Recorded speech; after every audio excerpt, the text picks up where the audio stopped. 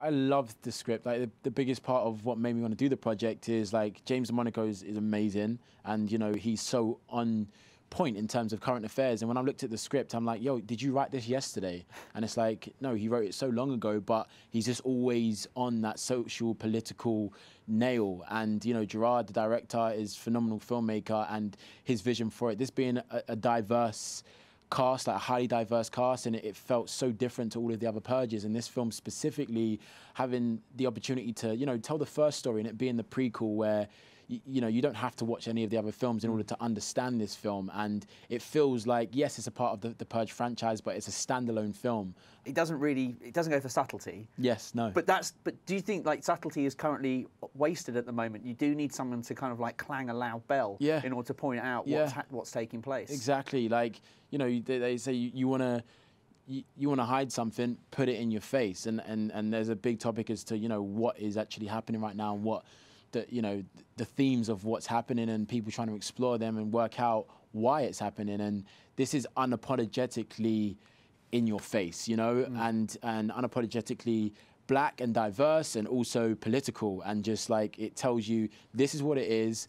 Like wake up let's think about this and let's look at it. And it explores that through just vast entertainment. And the action in this film specifically is like is amazing. Even when you look at the other Purge films, it's like this one, it's got its own feel to it, and you really get taken on a journey. And even down to character, it's a lot more character led and, and story led, whereas I feel like the other ones are more conceptually led and led with just an amazing concept. And this, it, it has the best of both worlds. You like your social media mm -hmm. and yeah. your, your online platforms. Yep. So in the film, they the, the, the people participating wear these lenses with mm -hmm. cameras in. Mm -hmm. How do you feel about that? it felt real. It felt like even when you know you got like like Snapchat doing these Snapchat glasses where you can start to film everything that's going on. Like it, we're not far away from that kind of technology and, and, what's happening, and it it felt like. You know, it's not something which I, I love social media, but at the same time, there is a level and a boundary in which we need to take place. Otherwise, we completely blur this whole kind of social world with real life. You know, mm-hmm. like people don't want to have phone calls anymore sorry, people don't want to talk face to face anymore. They want to have phone calls, they want to text, they want to WhatsApp.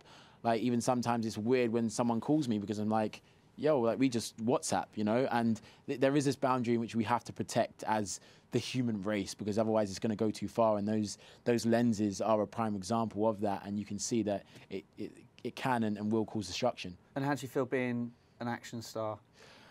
Amazing. It's been a dream, you know what I mean? It's like I've always wanted to be just creating work at the, at the highest level and, and Hollywood is that you know? You're in a playground where everyone is trying to create the best work and being surrounded by so many people which give you the opportunity to do that is a dream come true. And just finally um, have you ever have you ever walked across the grass when there's a sign saying please keep off the grass have you would that if there was a UK purge would you would you maybe walk on grass that had a sign saying I'm going to be honest with you. If I saw grass and I saw a sign that said, do not, that thing inside me would pull me to walk across the grass. Do it. I'd do it. Pretty dangerous, mate.